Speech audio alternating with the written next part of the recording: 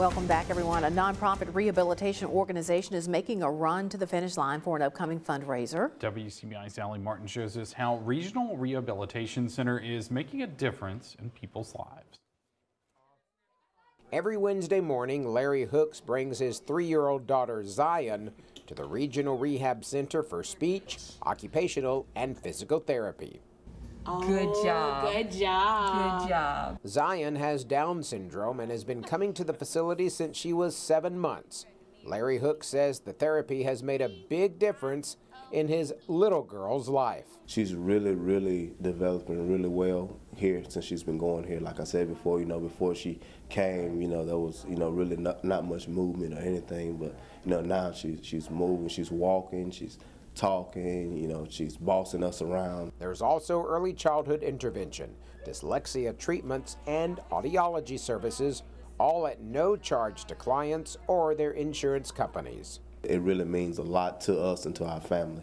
Of course, it takes a lot of resources to provide services to clients like Zion and nearly a thousand others every year free of charge.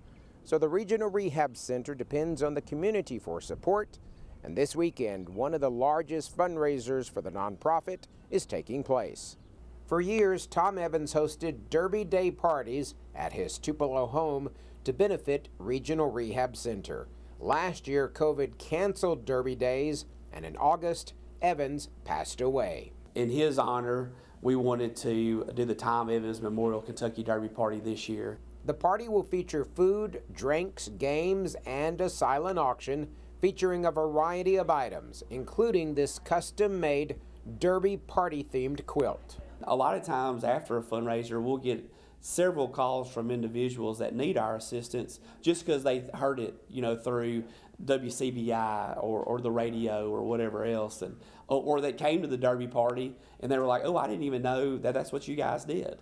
With the community's help, RRC will continue to restore and enhance the quality of life of those with disabling conditions, one client at a time.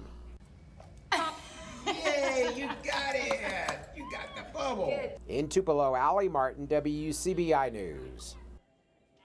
The Tom Evans Memorial Kentucky Derby Party is Saturday from 3 to 8 at the Tupelo Country Club. More information is on our website, WCBI.com.